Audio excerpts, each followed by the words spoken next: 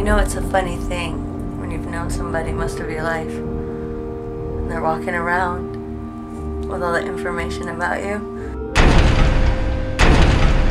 I don't want to go to prison no more. I don't want to be a dope fiend out here behind a garbage can. We gave you a place to live where you can have internet, cable, utilities, cleaning supplies, free bed, and you can't even pay your rent? The website is slow, recovery is slow. Get used to it. You look like my wife did before she died, all white and pasty. There's a right way to do this, a wrong way, and the way we do it. But if that man don't want to trade and you steal his pillows, you're out of the house. Got stabbed by an alcoholic. Seattle police. Go to any lengths to recover. Get out. You gotta go. Get the fuck out of here. You want to live here? Stay clean.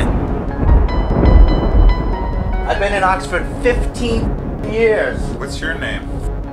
You, that's my name. Three chances, dude! In fact, we do have two vacant. Kicking him out of here?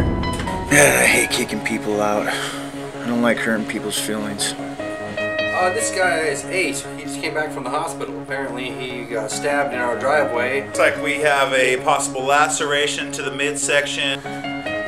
Why is it you've never gotten married? All the best girls got taken. And drugs. Across sand and sky and gravel.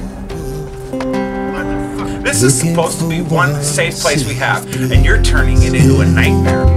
You don't like it? Leave. One safe place.